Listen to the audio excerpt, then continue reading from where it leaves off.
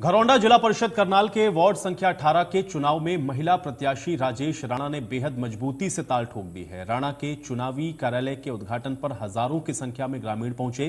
ग्रामीणों ने राजेश राणा को जीत का आशीर्वाद दिया। उन्होंने लोगों को भरोसा दिया कि जीत के बाद वो क्षेत्र की समस्या का समाधान प्रमुखता से करेंगे।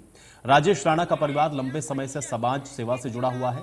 गाँव अराईपुरा में चुनाव कार्यालय के उद्घाटन के अवसर पर वेदपाल राणा और कुलदीप राणा की लोकप्रियता दिखाई दी है। समारोह में करीब पाँच हज़ार ग्रामीण उन्हें आशीर्वाद देने पहुँचे।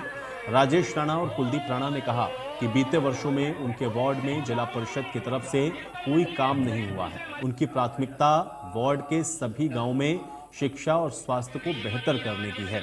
वो लड़कियों की शिक्षा पर फोकस करेंगे और लड़कियों के लिए स्कूल तक आने जाने के लिए यातायात की व्यवस्था करेंगे। वार्ड 18 से जिला परिषद के उम्मीदवार राजेश राणा को उगता सूरज चुनाव चिन्ह मिला।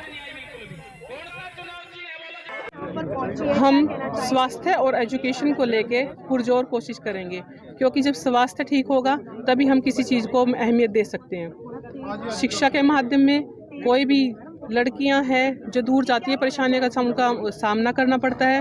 हम उनके लिए ये कोशिश करेंगे कि उनको उच्च से उच्च शिक्षा प्राप्त कर सके वो बिना किसी मुसीबतों के। तो गाँव के विकास में जिला परिषद एक अहम संस्था है और बड़ी जिम्मेवारी रहती है। महिलाओं को इस बार ज़्यादा शामिल किया क्योंकि पचास प्रतिशत रिजर्वेशन है। क्या फ़र्क रहेगा इससे? देखो महिलाएँ जो हैं वो पुरुष कंधे कर खड़ी हैं। वो किसी भी क्षेत्र में महिलाएँ पुरुष नहीं है।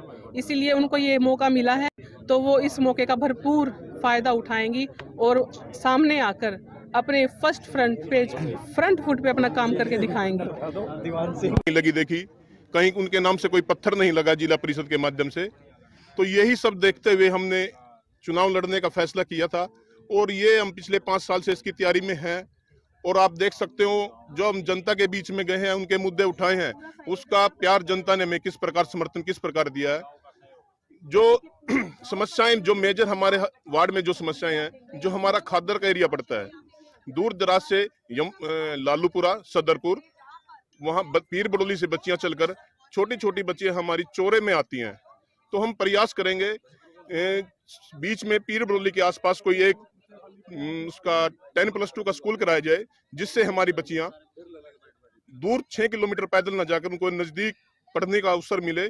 और जैसे ही हम सभागार में पहुँचते हैं, जनता के प्यार से हम जैसे ही सभागार में पहुँचते हैं तो हम सबसे पहले प्रयास करेंगे वो हमारी उन बच्चियों के लिए एक बस की व्यवस्था कराई जाए, जो उनको सुबह समय से स्कूल पहुँचाए और छुट्टी के बाद उनको घर पहुँचाए।